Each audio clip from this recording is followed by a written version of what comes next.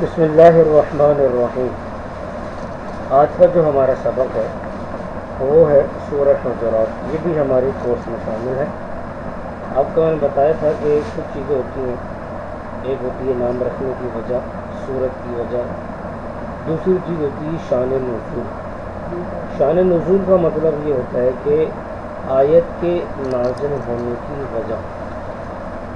कि ये आयत, या, ये सूरत क्यों नाजिल है? शान नजूल या सबब नजूल इसका मतलब होता है कि नाजिल होने की वजह क्या है? इसका बैकग्राउंड क्या है? इसका पस मंज़र क्या है? एक होता है वजह तस्मिया दूसरा शान नजूल तीसरा तर्जुमा, चौथा तशरी और पाँचवीं चीज़ कोई सवाल या फिर पूछा। तो सूर्य हजरात ये देख लीजिए ये हमारे सामने है।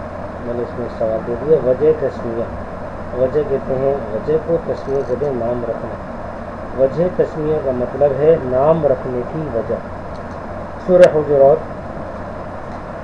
इस सूरत को सूर्य हजरात क्यों कहते हैं? इस सूरत को सूर्य हजरात इसलिए कहते हैं कि इसमें हजरात का ज़िक्र है। यानी हजरात, क्योंकि हजरे की जमा है, हजरा कहते हैं कमरे को। तो रसूल पाक सल्लल्लाहु अलैहि वसल्लम अपने कमरे मुबारक में तशरीफ़ रखते थे, हजर मुबारक में। तो ये शान नजूल से आपको पता चल जाएगा। तो रसूल पाक सल्लल्लाहु अलैहि वसल्लम के हजरों का इसमें ज़िक्र है। इस वजह से इस सूरत को सूरत हजरात कहते हैं। नाम रखने में ही होता है कि कोई ख़ास बात या कोई ख़ास वाक़ होता है या कोई ख़ास नाम होता है तो उससे सूरत का नाम रख दिया जाता है। इस सूरत में मिसाल के तौर पर रसूल बाग सल्लल्लाहु अलैहि वसल्लम के आदाब का ज़िक्र है। यानी सादा लफ्ज़ों में यूँ समझे कि इसमें आदाब नबवी और नंबर दो, आदाब माशरत यानी ज़िंदगी गुजारने के जो तरीक़े और आदाब हैं, उनका बयान है। तो अब आदाब माशरत बहुत सारे हैं अभी जैसे आगे आएँगे। तो हर बात को लेके सूरत के बहुत सारे नाम हो जाएँगे। तो किसी एक भी चीज़ को लेके सूरत का नाम रख दिया जाता है। तो चूँकि सूरत में खजूरों का ज़िक्र है इस वजह से इस सूरत को हजरात कहते हैं। तो मुख्तर सा जवाब है। लंबी तफसील नहीं है। सोर हजरात को हजरात इसलिए कहते हैं कि इसमें हजरे का ज़िक्र है, बस ख़त्म हो गई तो ये हो गई वजह तस्वीर। आगे देखिए, इस सूरत में अदाब नबी सल्लल्लाहु अलैहि और आदाब माशरत यानी ज़िंदगी गुजारने के तरीक़ों के बारे में बयान किया जाएगा अब उसके बाद आयत। इस सूरत में अठारह आयतें हैं इन कोशिश करेंगे हम जल्द से जल्द इसको पढ़ लें। पहली आयत, या अयुहल्लदीन आमन, ए ईमान वालो, ला तुकद्दीनो। ए ईमान वालो, ला तुकद्दीनो। मत बढ़ो, ला तुकद्दीमो का मतलब है मत बढ़ो आगे। बैन या रसूली, अल्लाह और उसके रसूल से आगे मत बढ़ो वतकुल्ला अल्लाह से डरो। इन अल्लाह समीन अलीम। अल्लाह सुनता है और जानता है। ये तो हो गया लफ्ज़ी तर्जुमा। एक बात और जहन में रखें कि हर आयत के दो तर्जुमे होते हैं। एक होता है लफ्ज़ी तर्जुमा, जो लफ्ज़ लिखा हुआ है वो। एक होता है सलीस और बा मुहावरा तर्जुमा। मिसाल के तौर पर यहाँ देखिए, या लजीन आमन, ला तुकद्दिम बैन यदई व रसूली जिसका लफ्जी तर्जुमा है कि, ए ईमान वालों, आगे मत बढ़ो अल्लाह और उसके रसूल के हाथ से। मतलब क्या है कि, ए ईमान वालों, अल्लाह और उसके रसूल से आगे मत बढ़ो। यानी किसी भी कौल या किसी भी फ़ैल में अल्लाह के नबी से आगे मत बढ़ो। व तकुल्ला और अल्लाह से डरो। यानी क्या मतलब? यानी जो गलती हो गई कि तुम आगे बढ़ गए अल्लाह के रसूल से तो जो गलती हो गई इस पर तोबा कर लो और अल्लाह से डरते रहो। इन समी अल्लाह सुनता है और जानता है। यानी क्या मतलब? अल्लाह सुनता है तुम्हारे अकवाल को अलीम और जानता है तुम्हारे अमाल को। तो यह है सलीस तर्जुमा। एक लफ्ज़ी तर्जुमा, एक सलीस यानी बा मुहावरा तर्जुमा। अब जिससे भी हमें बात समझ में आ जाए। तो पहली आयत आपके सामने ज़िक्र कर दी मैंने। अच्छा अब मैं आपको ये बता दूँ, इस आयत के अंदर इसकी तशरी आपको पहले मैं बता देता हूँ। इस आयत में पहला अदब नबी सल्लल्लाहु अलैहि वसल्लम बयान किया गया वो क्या है? वो ये है कि जब तुम लोग रसूलुल्लाह के साथ हो तो किसी भी चीज़ में रसूल से आगे मत बढ़ो। खा वो कोई काम हो, या बात हो, या खाना हो, या पीना हो, या चलना हो, कोई भी चीज़ हो, जब तक आप इजाज़त न दें तो पहल न करो। किसी भी काम में। हाँ अगर अल्लाह के रसूल इजाज़त दे दे कि जी तुम कर लो तो फिर अलग बात है, फिर कर लेने में कोई मज़ाक हर्ज नहीं है। जैसे जंग के सफ़र में रसूल सल्लल्लाहु अलैहि वसल्लम कुछ लोगों को पहले भेजते थे। तो अब ये हुजूर से आगे बढ़ गए, लेकिन चूँकि ये रसूल का हुक्म है तो इसलिए अरबी में एक मकूला है, अलहुक्म फ़ौकल अदब। हुक्म अदब से बढ़कर है। अदब तो ये है कि मिसाल के तौर पर कोई बड़ा है, आपका कोई टीचर है, आपका उस्ताद है, आपके वालिद है, आपकी वालदा है, बड़ा भाई है। अब उनका अदब ये है कि आप उनसे पहले न खाएँ, उनसे पहले न बैठें। अगर वो खड़े रहें और आप बैठे हुए तो आप खड़े हो जाएँ। आपके टीचर आ गए, आप खड़े हो गए। लेकिन ये तो हो गया अदब। एक है हुक्म। हुक्म ये कि उस्ताद ने टीचर ने, वालिद ने आपसे कहा, बैठ जाओ ये काम कर लो। तो अदब तो ये कह रहे कि ये काम नहीं करना चाहिए। टीचर के सामने नहीं बैठ सकते हम, जब तक टीचर ना बैठ जाए। हम टीचर की जगह पे खड़े नहीं हो सकते, लेकिन टीचर हमसे खुद कह रहे हैं कि तुम यहाँ आ जाओ। तो अब यहाँ पर हुक्म की अहमियत होगी, अदब की अहमियत नहीं होगी। इसको कहते हैं अमर फ़ौकल अदब। अमर और हुक्म अदब से बढ़कर है। तो अदब तो ये कि नबी से पहले कोई काम नहीं करना, कोई बात नहीं करनी, लेकिन जब नबी हुक्म दे दे तो फिर करना पहले ये ज़्यादा अवला और अफजल होगा।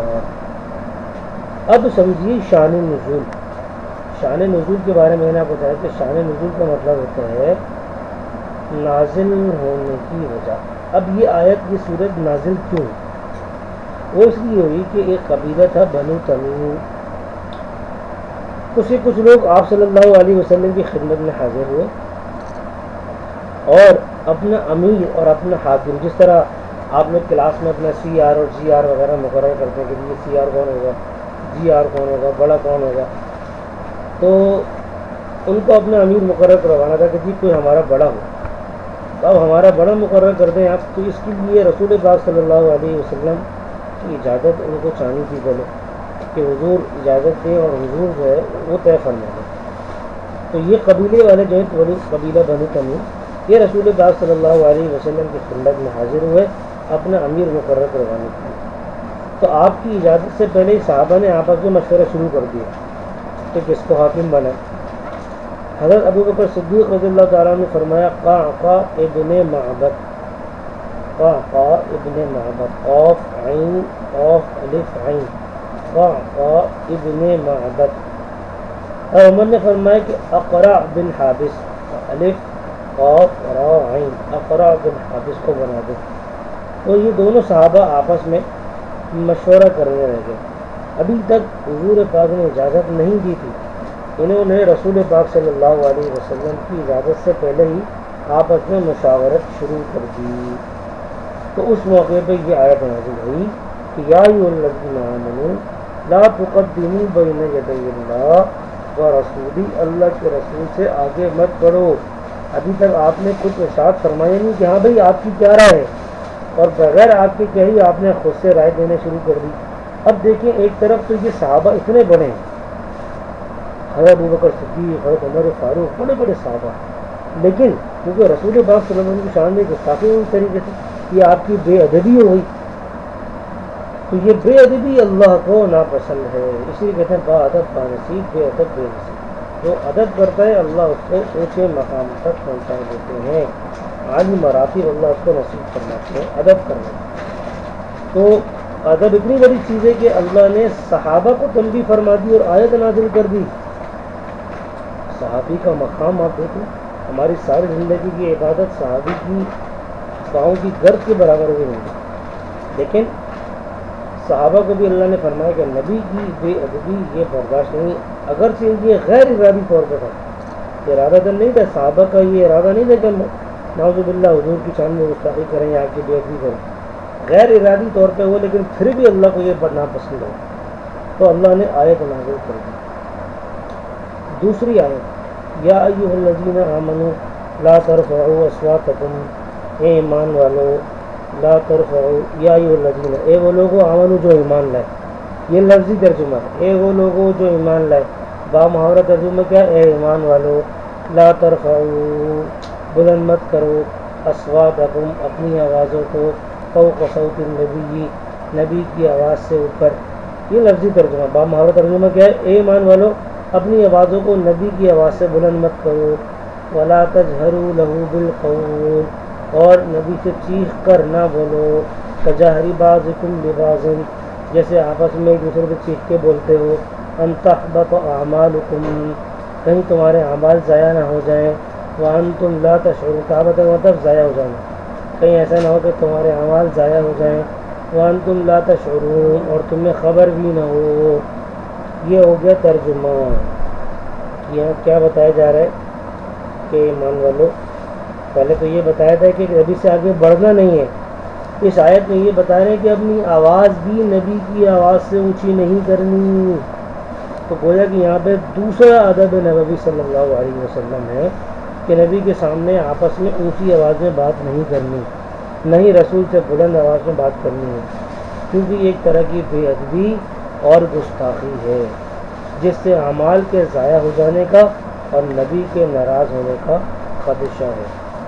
अब तीसरी चीज़ शान नजूल इस आयत में शान नजूल ये कि मैं बताया बनी तमी के कुछ लोग आए थे अपना अमीर मुकर करवाने के लिए, कि रसूल सल्लल्लाहु अलैहि वसल्लम किसी को बड़ा बना दें हमारा। तो साहबा आपस में मशवरा करने लगे जो मैंने आपको पहले बताया। अब क्या हुआ कि इस मशवरे में साहबा की आवाज़ें बुलंद हो गई। लामाला जब आठ दस लोग बैठे होते हैं और दो चार लोग आपस में बात शुरू करें तो कुछ ना कुछ आवाज़ बुलंद हो जाती है। तो जब साहबा आपस में मशवरा करने लगे तो क्या हुआ? वो है कि आपस में आवाज़ें बुलंद हो गई। तो इसीलिए कुरान ने कहा कि आपके सामने आपस में ऊँची आवाज़ से बातें मत करो और ना ही रसूल से बुलंद आवाज़ में बात करो, क्योंकि ये एक तरह की गुस्ताखी और बेदबी है, जिससे अमाल ज़ाया होने होने का अंदेशा और ख़तरा है। ठीक हो गया? तो शान नजूर के बारे में मैंने आपको बता दिया कि वो बन तमीम के लोग आए थे, अपना अमीर मुकर करवाने लगे, साहब आपस मशवरा करने लगे इस मशवरे में उनकी आवाज़ें बुलंद हो तो यहाँ वजह अब यहाँ पर एक सवाल होता है। सवाल क्या होता है? सवाल ये है कि अमाल तो कुफर करने से ज़ाया होते हैं, और वो कुफर भी ऐसे जो जानबूझ कर के किया जाए, किसी एक गुनाह से तो सारे अमाल ज़ाया नहीं होते। नहीं आई समझ। सवाल ये होता है कि साहबा से एक तो गैर इरादी तौर पर एक गलती साजिर हो गई, कि अल्लाह के नबी की बेअदबी हो गई। तो ये एक गुनाह था। तो किसी एक गुनाह से अमाल ज़ाया नहीं होते। अमाल तो कुफर करने से, काफिर बन जाने से। और काफिर भी ऐसा बनना कि जो जानबूझ के बना जाए। यानी अगर कोई गलती से कुफर के कलमे कह दे तो उससे वो काफिर नहीं होता। जानबूझ के कुफर का कलमा कहे तो इससे वो काफिर बनता है। और काफिर हो जाएगा तो अमाल ख़त्म हो जाएँगे। तो यहाँ पर साहबा ने कुफर तो नहीं किया छोटी सी गलती हो गई। उस गलती पर अल्लाह रब्बुल रबुल्ज़त ने फरमाया कि कहीं ऐसा हो कि तुम्हारे अमाल ज़ाया हो जाए तो उसका जवाब क्या है? इसका जवाब ये है कि आवाज़ बुलंद करना और पहल करना हजूर के सामने, ये तो एक तरह से नबी की बेअदबी और गुस्ताखी है। और नबी की ईज़ा और तकलीफ़ का सबब है। और नबी को ईज़ा देना ये गुना है।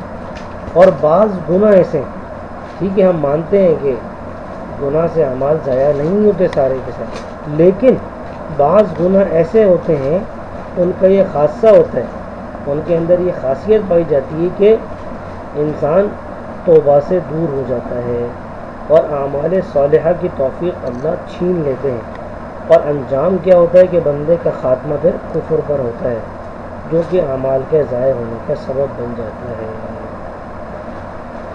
अल्लाह अकबर, ये बात हमें समझाई जा रही है कि देखें इंसान गुनाह को बाज़ात गुनाह समझते ही नहीं एक तो ये ना कि जी बंदा गुनाह कर रहा है, उस पर इस्तफार है कि जो मुझसे गलती हो। गई लेकिन बाद गुनाह ऐसे होते हैं कि जिसको बंदा गुना ही समझता। मिसाल के तौर पर हमारा कारोबारी तबका है बिजनेसमैन लोग हैं। अब वो झूठ बोलकर कारोबार करने को ही नहीं समझते। वो कहते हैं, ये तो कारोबार का पार्ट है बिज़नेस का पार्ट है, हिस्सा ही। इसके बगैर काम चलेगा ही। नहीं तो जब बंदा गुनाह को गुनाह नहीं समझता तो कुछ गुनाहों के ये असरात होते हैं कि इंसान से अल्लाह पाक तो बाकी तोफ़ी छीन लेते हैं और आखिरकार फिर उसका ख़ात्मा कुफर पर हो जाता है। अलायात अमान वलहफ़ीज़ अल्लाह हमारी हिफाजत फरमाए। तो ये गुस्ताखी जो थी नबी की, ये इतना बड़ा संगीन गुना थी कि जिससे ये खदशा था कि कहीं अमाल ज़ाया ना हो जाएँ क्योंकि अंजाम कुफर पर ना हो जाए। इसलिए अल्लाह रबुल्ज़त तंबी फरमाया यहाँ पर एक छोटा सा मैंने नोट लिखा, देख लिया।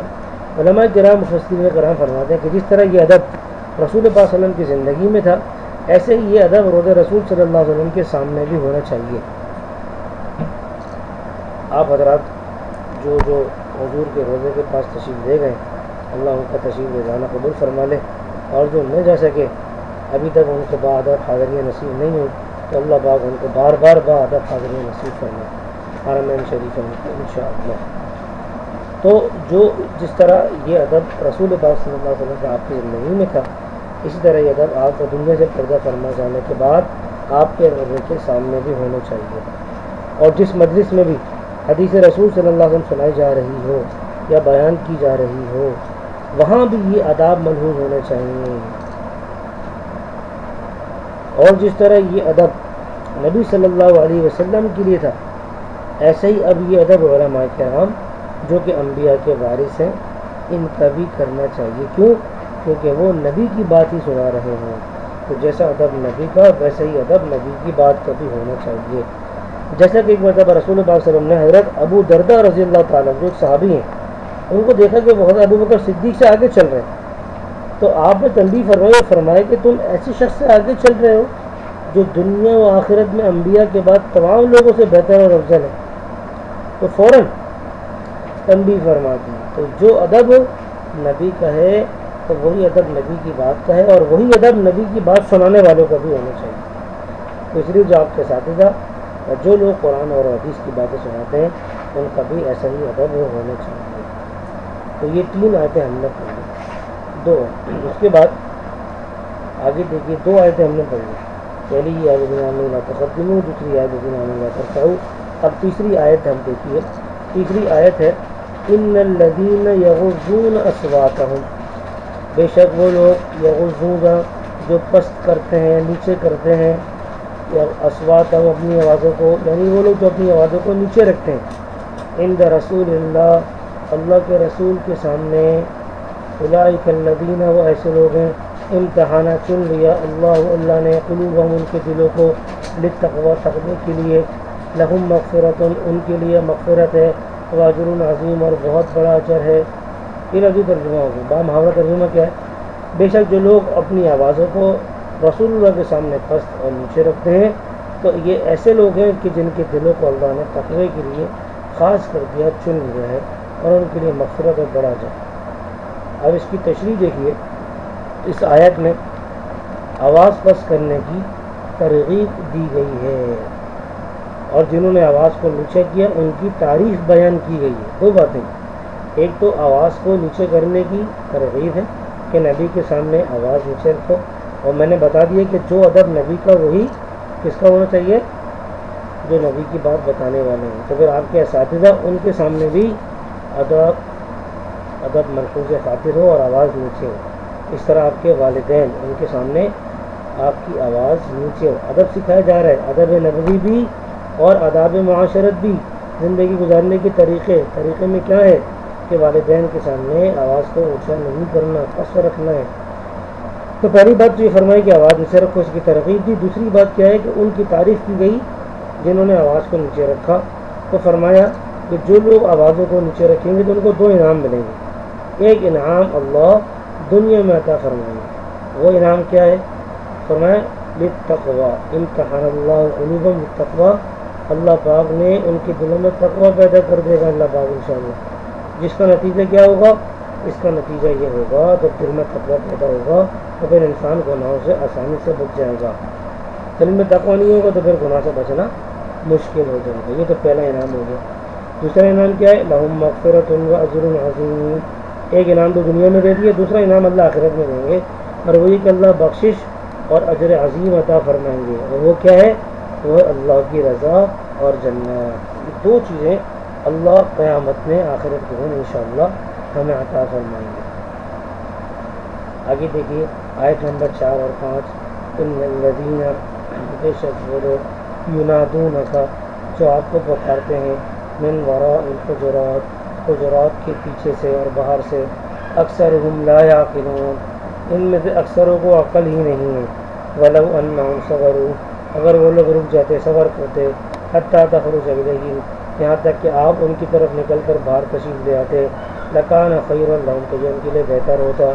अल्लाह गफूर रहीम। अल्लाह का गफूर है और रहीम और माफ़ करने वाला है। ये तो हो गया लफ्जी तर्जुमा। बा मुहावरा तर्जुमा क्या है? कि जो लोग आप मौजूदों के बाहर से पुकारते हैं, यानी आवाज़ें देते हैं, इनमें से अक्सरों को अकल ही नहीं है। अगर अकल होती तो इस तरह से बाहर से आपका नाम लेकर आपको आवाज़ें ना देते। वलन हूँ सबर और अगर ये लोग थोड़ा सा सबर करते यहाँ तक कि आप खुद बाहर तशीफ ले आते तो ये इनके लिए बेहतर होता है क्यों? क्योंकि इसमें अदब है। अब कहा कि चलो, अगर गलती हो भी गई तो अब भी तोबा कर लें तो माफ़ी मिल जाएगी। क्यों मिल जाएगी? अल्लाह गफूर रहीम। क्योंकि अल्लाह माफ़ करने वाला है और अल्लाह रहम करने वाला है। तशरी इस आयत में तीसरा अदब है नबी सल्लल्लाहु अलैहि वसल्लम। कौन सा है वो तीसरा अदब तो तीसरा अदब ये है कि जब आप हजर में तशरीफ़ फरमा हो तो आपको बाहर से खड़े होकर आवाज़ें मत लगाओ, क्योंकि बड़ों को बाहर से आवाज़ें लगाना ये अदब के ख़िलाफ़ है। ये तीसरा अदब नबी होगा। शान नजूल देख लीजिए। शान नजूल यानी आयत नाजिर होने की होता है कि कबीला बनी तहम की कुछ लोग अपना हाकिम मुकर करने आए तो चूँकि ये लोग देहात से आए थे, गाँव देहात के लोग थे और आदाब नबी से नावाकिफ़ थे।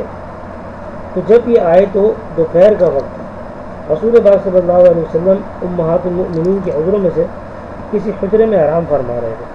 क्योंकि आपकी जो अजवाज मतहरात हैं, उनके कमरे वहीं बने हुए थे, हजरे बने हुए थे तो आप किसी न किसी हजरे में आराम फरमा रहे तो ये लोग हजरे के बाहर से खड़े होकर आपको आवाज़ें देने लगे। या मोहम्मद या मोहम्मद उखर उखरुजलैना मोहम्मद बाहर आइए बाहर आइए।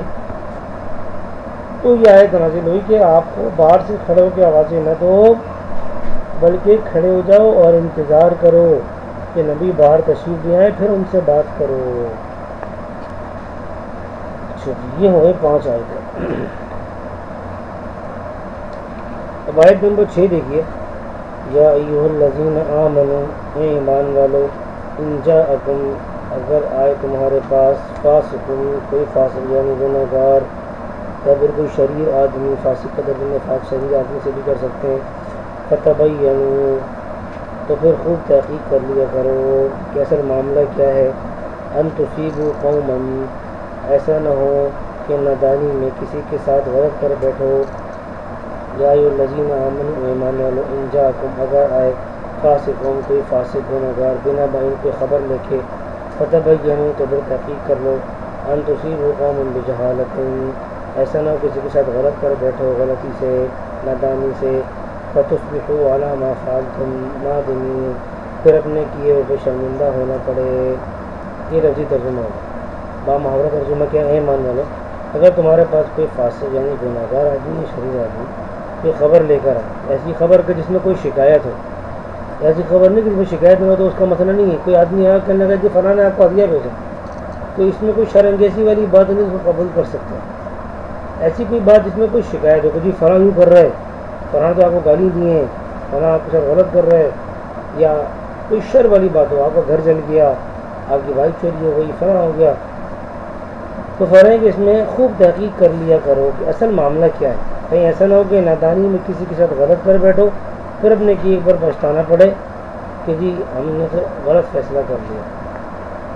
इसकी तशरी से पहले मैं आपको इसका शान नजूल बताता हूँ। ताकि हमें बात समझने में आसानी हो जाए। बात समझने में थोड़ी सी आसानी हो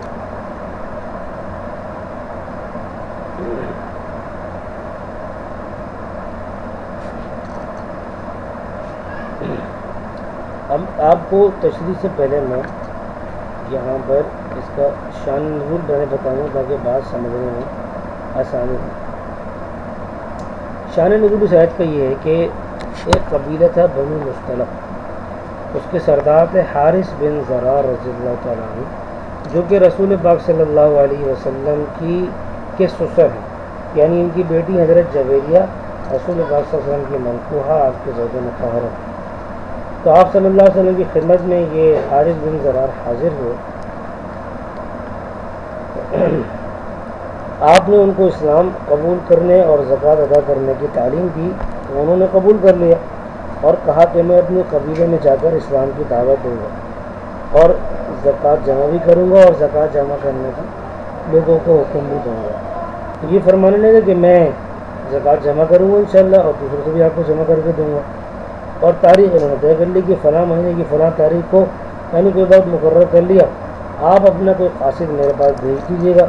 तो जो रकम जमा होगी वो मैं आपके कासिद के सपोर्ट कर दूँगा। अब जब वक्त मुकर आया तो मुकर तारीख पर रसूल बाग सल्लल्लाहु अलैहि ने अपनी तरफ़ से तो कासिद रवाना किया, लेकिन इनके पास कोई कासिद नहीं पहुँचा।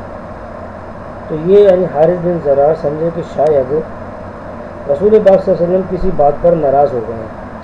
वरना ये मुमकिन ही नहीं कि हजूर वसल्लम वादे के मुताबिक किसी को न भेजें। तो उन लोगों ने इरादा किया कि हम खुद रसूल बाग सल्लल्लाहु अलैहि वसल्लम की खिदमत में हाजिर होते हैं। हालाँकि दूसरी तरफ़ वाक़ ये था कि हजूर सल्लल्लाहु अलैहि वसल्लम वलीद बिन अकबा को अपना कासिद बना करके भेजा था कि जाओ ज़क़़त की रकम ले जब वो सफ़र पर रवाना हुए तो उन्होंने सोचा कि कहीं वो मुझे कत्ल न कर दें, क्योंकि इनके कबीले और दूसरा जो कबीले था मुश्तलक इनके दरमियान आपस में दुश्मनी और लड़ाई थी। तो वो आधे रास्ते से वापस आ गए। और आप सल्लल्लाहु अलैहि वसल्लम तो ये बयान किया कि कबीले वालों ने ज़क़़त देने से इनकार कर दिया और मुझे कत्ल करने का इरादा किया। चुनाचे रसूल वसल्लम को बड़ा गुस्सा है और आपने खालिद बिन वलीद को कुछ लोगों के साथ वाक़ की तहकीक के लिए रवाना किया कि जाओ देखो असल मामला क्या है। एक रिवायत में यह भी आता है क्योंकि अरब लोग मेहमान नवाज़ होते थे, यानी दुश्मनी नहीं थी, बल्कि चूँकि अरब मेहमान नवाज़ होते थे, लिहाजा कबीर बन मुस्तलक के लोग मुकर तारीख को इस्तबाल के लिए बाहर तशील ले आए, कि आज हजूर का कासिद हमारे पास आ रहे थे उसके इस्तबाल के लिए हम खड़े हुए थे। जब वली बिन रकबा ने उन्हें दूर से खड़ा देखा तो समझे कि शायद ये लोग मुझे कत्ल करने के इरादे से खड़े हुए लिहाजा गलत फहमी की वजह से वो वहीं से वापस हुए और दूर से ये बयान फरमाया कि इन लोगों ने ज़क़़त देने से मना कर दिया और मुझे कत्ल करने से, कत्ल करने का इरादा कर लिया। तो अब रसूल बाग ने चूँकि हज़रत खालिद बिन वलीद को हालात की खबर लेने के लिए भेजा था। तो जब हारिस बिन ज़रार की खिदमत में ये हज़रत खालिद बिन वलीद तशीफ लाए और उन्होंने कहा कि भाई, क्या हुआ? आपने किसी को भेजा? आप जक़ात दे दी आपने? और सारा मामला इनको बताया। तो हारिस बिन ज़रार फरमाने के खुदा की कसम, हमारे पास तो कोई आदमी आया ही नहीं और ना ही हमने किसी को आते देखा। और यही बात उन्होंने हजू सदम खिदमत में हाजिर होकर कही या रसूल हमने तो किसी को देखा ही नहीं। और खालिद बिन वलीद ने रसूल बाग वसल्लम को आकर के सारे मामले की खबर दी। तो उस वक्त ये आयत नाजिल हुई। ये तो हो गया इसका शान नजूल की आयत नाजिल क्यों है? अब मैं आपको इसकी थोड़ी तशरी बता दूँ इस आयत में रसूल बाग अलैहि वसल्लम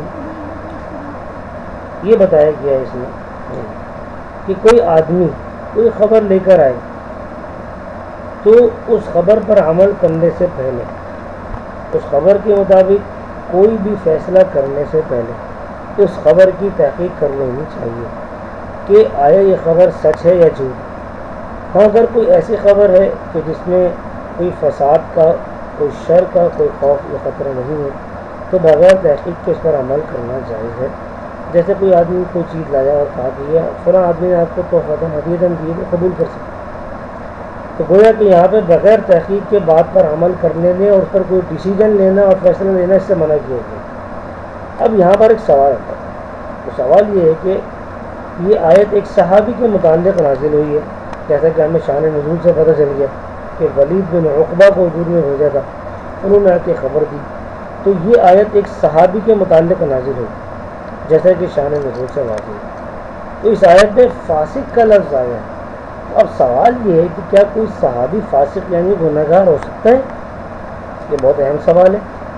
नजबुल्ला मैं सहाबा की सामने गुस्ताखी नहीं कर रहा, बल्कि आयत से उठने वाले एक सवाल की तरफ़ इशारा कर रहा हूँ कि चूँकि आयत सहाबी के मुतालिक नाजिल हुई है और आयत में फासिक का ज़िक्र है तो क्या सहाबी को फासिक कहा जा सकता है?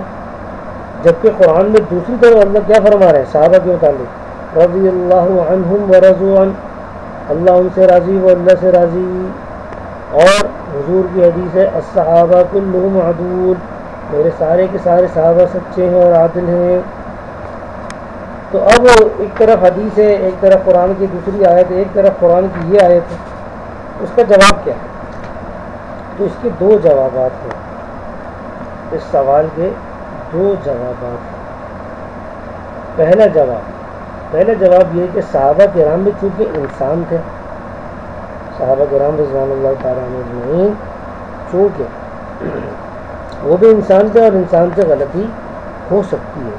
तो अगर इनसे कभी कोई गलती साजत हो गई, सादिर हो गई तो अल्लाह की तरफ़ से उनको फ़ौर तोबा की तोफ़ी हुई और उन्होंने तोबा कर ली। और तोबा करने वाला ऐसा है कि जैसे जिसने गुनाह किया ही नहीं। मिनज़म्बी कमन ला दम्बला गुनाह से तोबा करने वाला ऐसा है कि जैसे उसने गुनाह किया ही नहीं। तो चूँकि सहाबा इंसान थे और इंसान से गलती हो जाती है गुनाह हो जाता है तो सहाबा से भी हो सकता है कि हो गया हो या हो जाता हो, लेकिन अल्लाह पाक उनको तोबा की तोफ़ी दे देते क्योंकि वो नेक लोग थे और फिर वो तोबा कर लेते अल्लाह उनको माफ़ कर दिया ये हो गया पहला जवाब। दूसरा जवाब ये कि ये आयत अगर के सहाबी के बारे में नाजिल हुई है, लेकिन सहाबी को फासिक नहीं कहा गया। ज़रा तवज्जो फरमाइए कि आयत तो अगर के सहाबी के मुतालिक है, लेकिन फासिक का लफ्ज़ सहाबी के लिए नहीं है, बल्कि यहाँ पे क्या फरमाया यहाँ ये फरमाया कि जब सहाबी की खबर पर अल्लाह तहकीक का हुक्म दे रहे हैं तो अगर कोई फासिक खबर लेकर आए तो बदरज ओला और ला महला इसकी तहकीक करनी चाहिए। यानी जब सहाबी की खबर पर तहकीक का हुक्म है तो कोई फासिक आदमी या गुनहगार आदमी खबर लेकर आए तो फिर उसकी तहकीक को फ़ौर करनी चाहिए कि जब सहाबी के लिए इतना अल्लाह फरमा हैं इतनी एहतियात तो एक आम आदमी के लिए तो ज़्यादा एहतियात है।